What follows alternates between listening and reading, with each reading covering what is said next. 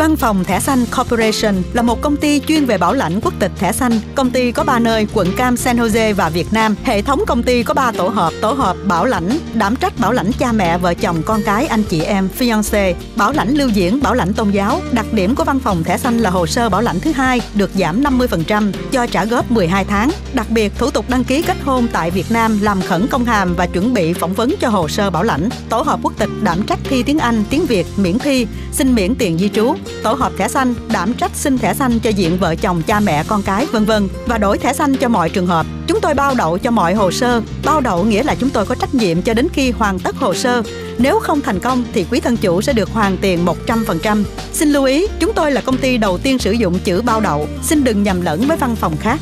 Xin liên lạc 714 766 3345 để mở hồ sơ ngay hôm nay hoặc giới thiệu bạn bè thân nhân để được tặng 100 đô.